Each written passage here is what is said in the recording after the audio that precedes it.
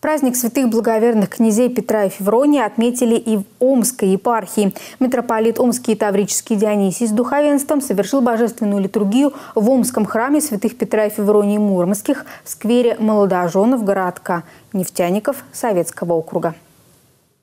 Святые благоверные князья Петр и Феврония Муромские являются собой образец супружеской верности, преданности и любви в браке, хранения семейных ценностей, верных и целомудренных отношений, о которых они заботились на протяжении всей своей жизни, преодолевая различные испытания. Благоверные Петр и Феврония стяжали святость хранением заповедей Божьих и удостоены прославления ради мужества и смирения, проявленных ими беспорочностью брака. Радует то, что появилось много многодетных семей.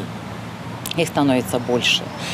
И не боятся молодые мамы э, рожать и трое, и четверо, и больше. А вот. У меня у самой шестеро детей и уже шестеро внуков.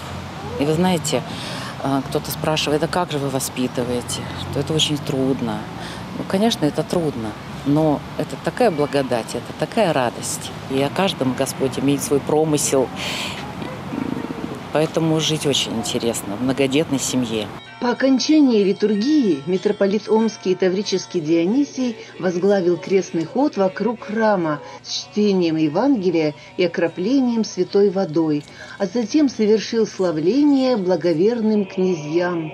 В завершении богослужения владыка поздравил всех с праздником и сказал, что каждый из тех, кто подвязается в христианском браке и следует примеру святых Петра и Февронии Муромских, может стяжать венец, которого удостоились благоверные покровители брака.